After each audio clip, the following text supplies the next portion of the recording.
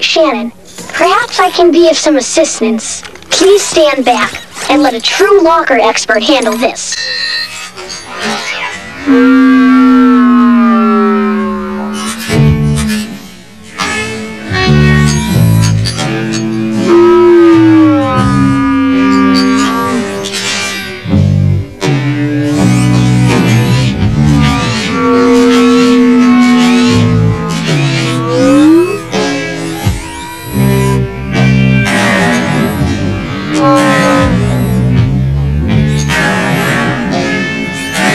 Oh,